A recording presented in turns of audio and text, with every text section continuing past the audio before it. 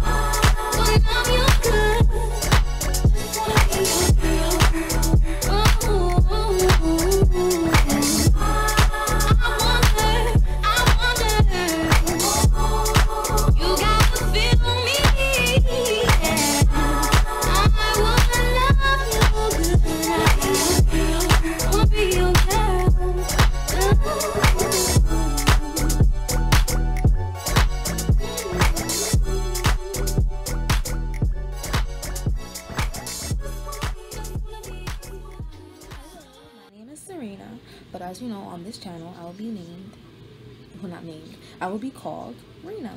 It's my nickname. Um, I am a 20 year old college student, and I like doing makeup. Sometimes I do freelance makeup on other people. Sometimes I just dabble and play on family members. Most of the times, I'm just doing my own makeup. Um, so this is my everyday makeup that I do. Not every day, like sometimes on occasional when I feel like looking cute for the world. This is the makeup look that I do, which is like basically just a soft highlight.